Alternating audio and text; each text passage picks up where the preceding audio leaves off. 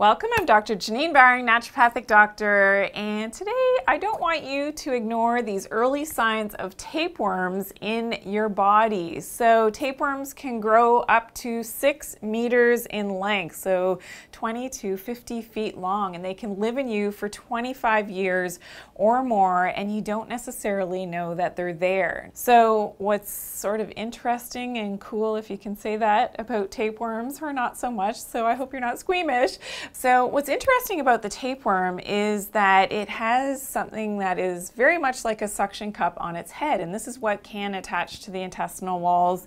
Each tapeworm can have 3,000 different segments, and each segment can lay thousands of eggs.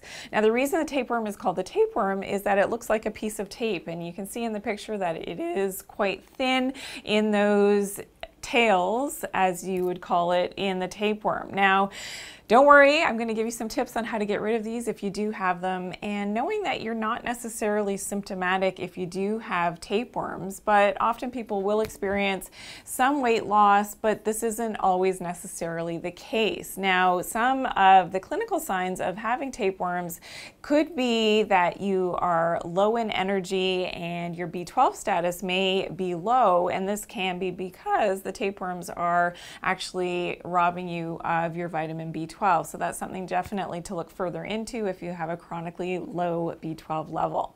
Now I promised I would share some tips on how to get rid of these. You know that I have other videos here on YouTube on how to deal with parasites and candida and their eggs. So dealing with intestinal parasites and worms is something that is good for your overall health, not only uh, if you do have them and, and they've been diagnosed, but also of course as a preventative as well. So one of the best tips is to use some herbal medicines that that have been proven to help with eradicating these intestinal worms and the tapeworms. So one of my favorites is oregano, and this is very powerful against killing off some of those intestinal worms.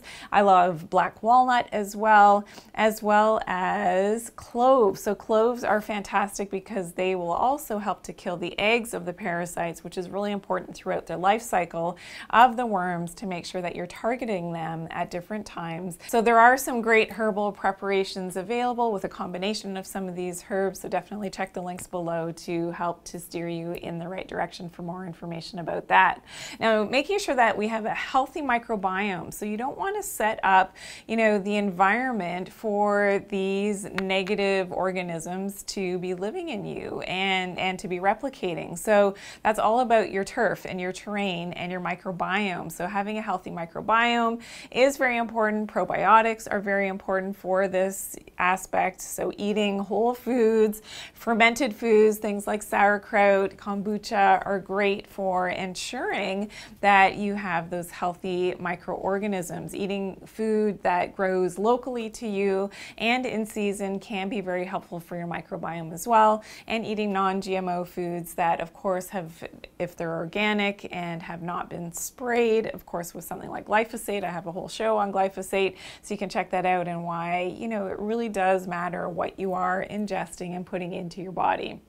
Another culprit for allowing these intestinal parasites and, and, tapeworms to propagate and to live and that you can't get rid of them is sugar. So you definitely, if you do have a sugar addiction, you know, you want to definitely do your best to stay away from refined sugars and all of those sweets and treats that you may love, but you may be addicted to and you don't know why. So check out my show on sugar addiction to help you in that department. So today I talked all about tapeworms and some of of the early signs of tapeworms that you should not ignore. So if you do have questions or comments, I would love to hear from you.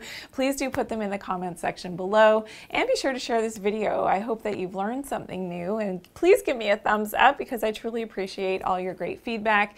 If you're new to my channel, welcome in. I hope that you'll subscribe. Also turn on your post notifications by clicking that bell so you're always notified of my newest and latest uploads.